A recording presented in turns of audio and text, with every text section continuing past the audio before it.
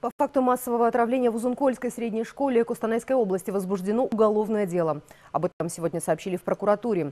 После происшествия в столовой были изъяты необходимые образцы продукции и взяты смывы.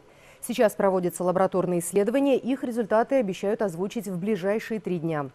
Напомню, 16 сентября после обеда в школьной столовой с жалобами на тошноту и рвоту к медикам обратились 53 человека.